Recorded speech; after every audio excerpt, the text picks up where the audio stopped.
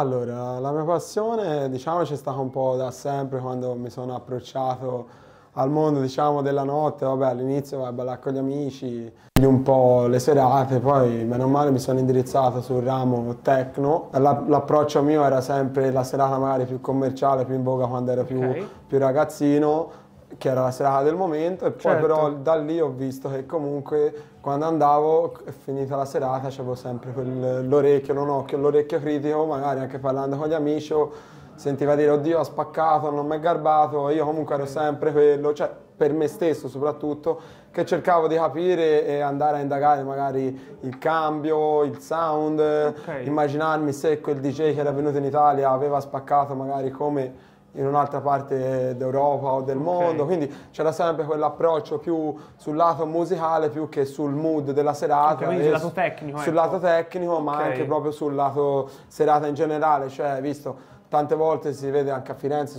cioè, perché comunque siamo di Firenze, Certo. che spesso e volentieri la serata piena di gente, bella, soprattutto ora con i social e tutto, sembra che ci sia la serata bomba, però magari il lato musicale passa quasi in secondo piano, piano. e io già da quando ero più ragazzino notavo che mi interessava più quello, magari più che oh c'era un monte di gente, che bello, Ok, ho abbiamo beccato un sacco di ragazzi così, quindi cioè, l'approccio e la, la mia prima passione è nata andando a ballare quindi vedendo che mi piaceva veramente tanto capire e indagare sul set dell'artista, sull'informarsi, tipo andare a cercare magari i set precedenti, le produzioni, Certo. capire un po' le varie dinamiche, come mai era in voga, come mai non era in Ok. voga.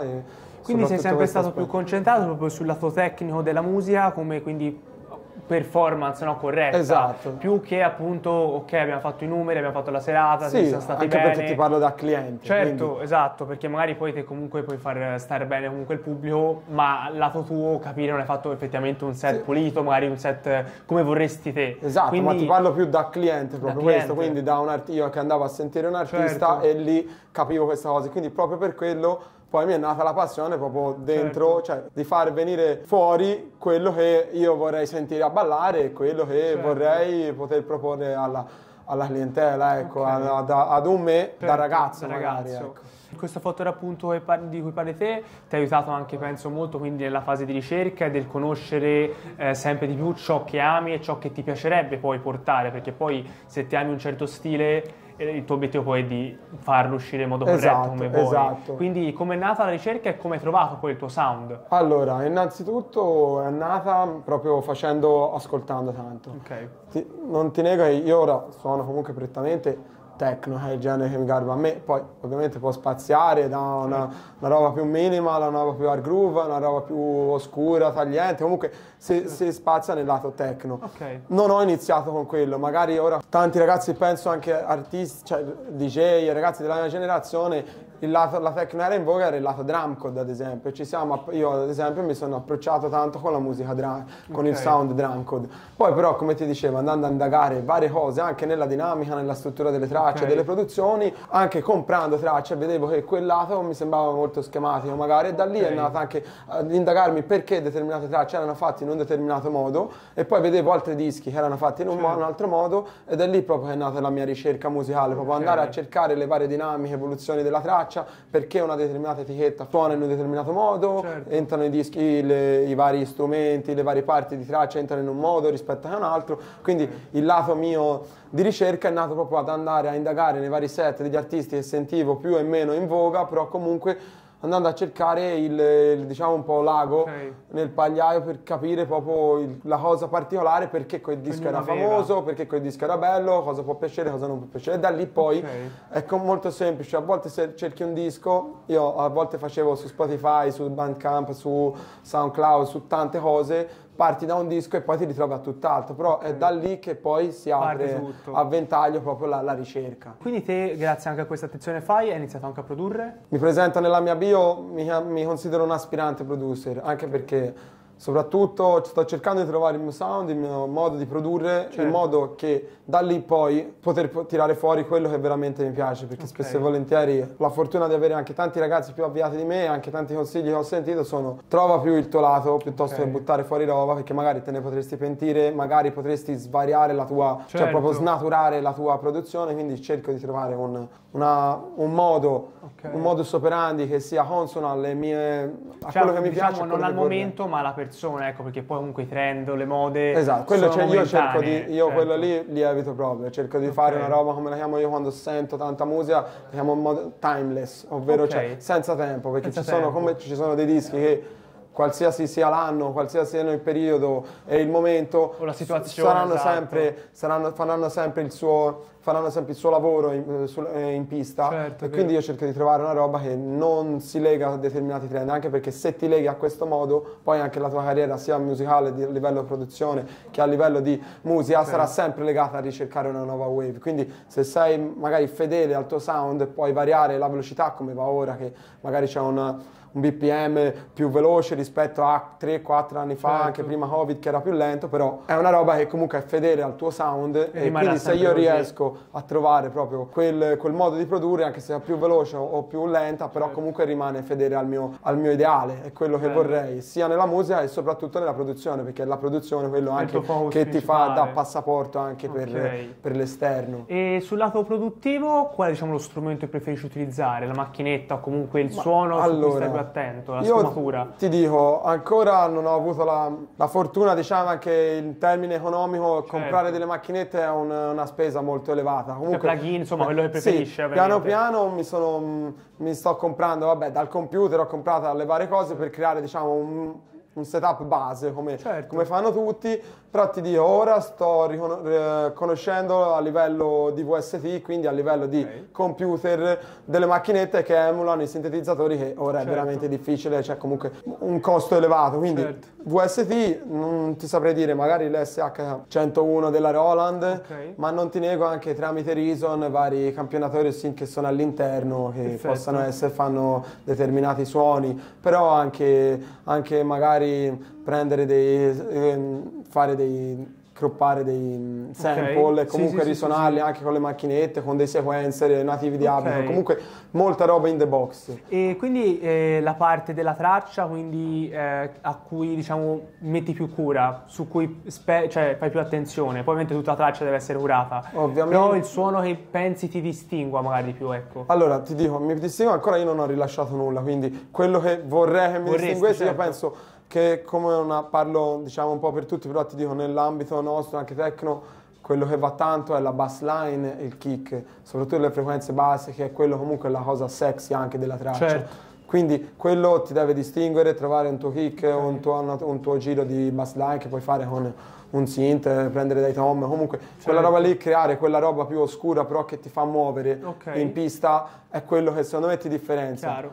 Poi non ti nego anche le altre, come- come- soprattutto le drum, magari possono essere anche quelle lì, se riesci a variegare le varie drum, metterle insieme in vari modi più mh, fantasiosi, ti rende la traccia meno statica, però ti dico la bass line, forse il kick sono le cose più, Ok. più importanti, diciamo il low end della, Low della end. traccia, quella è la roba più... E poi anche dei bei, synth, comunque Certo. delle percussioni, quelli, però viene dopo, Viene però dopo, soprattutto il, il low end quando suona bene il kick, il Ok. basso e ti fa dà già quel movimento che dici cazzo se io lo sento, scusami per la parola. No, che figura. Se, dici, se lo sento, cioè se sento questo, questo giro di cioè kick, low end così con il basso e mi Può fa muovere, sé, poi dice. già quello che dopo non è superfluo, però se già suona bene quello, il resto Arricchisce. viene da sé, esatto. Ok, Quindi- perfetto.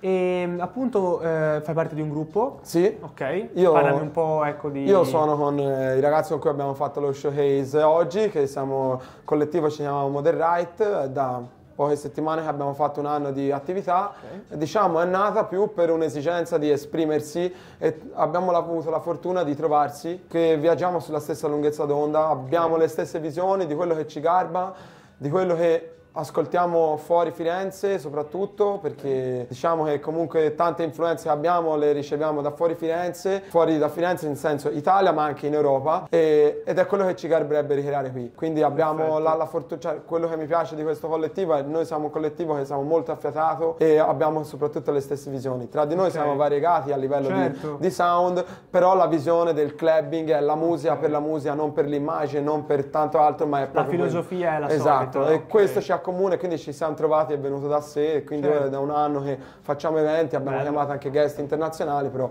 diciamo che sono contento e questo è il collettivo che- Certo. di cui faccio parte, di cui siamo fondatori con gli altri ragazzi, siamo cinque ragazzi, ci amamo del. Certo, esatto. molto bello. Infatti, appunto, nell'altra intervista eh, c'è stato proprio, cioè, ho, ho capito che c'è proprio un affetto proprio a livello di amicizia, oltre Sì, appunto che sì. di progetto in Esatto. sé. Quindi questo è molto bello e anche secondo me aiuta molto eh, a, cre- a far crescere, a far unire sempre di più. Sì, anche le- perché delle quando ti persone. trovi veramente sulla stessa lunghezza d'onda, tutto il resto è superfluo. Bravo. Capito? Viaggi veramente verso la stessa meta, La che, stessa è, meta. che è quella, cioè banalmente della musica, che magari ora sei persa, non è dell'immagine, non è di tanto del contesto, ma è veramente la musica per la musica, perché noi come evento nasce per suonare nei club, come ci piace vedere, cioè come vediamo all'estero, che ci sono tanti club all'estero che hanno organizzazioni al suo interno che portano la musica e ci garberebbe portare anche a noi a Firenze. Quindi è proprio una roba che magari il, il cliente non, magari non ci può scegliere già dall'inizio, però se abbiamo un club a disposizione o Certo. comunque